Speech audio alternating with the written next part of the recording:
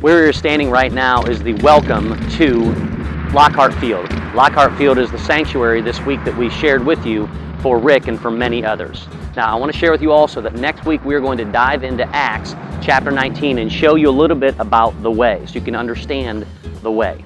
But today, we are here at a welcome sign. Today, we are here at a beginning. Today, we are at a place that when people pull in here, they're heading down to that football field, and a welcome sign is here so that people feel just that. They feel welcome. But at the same time, it's introducing you as to where it is that you are coming. In the Bible, I believe that the way is there because it is a welcome sign. It is a welcome sign for people to take their walk to another step to take their walk to becoming a disciple of Christ. Everywhere we go, there are little signs that we have in our life, and we're going to do a piece on signs coming up here in the very near future. But right now, I want to show you the final sign that is amazing to me.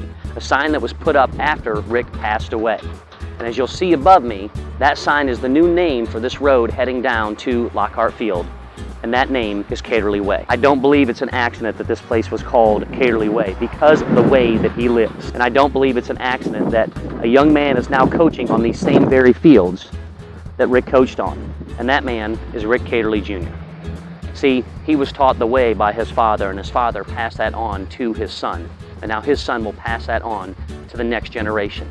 And he makes that choice, and we make that choice every day to live in such a way that others can see Christ. Challenge yourself today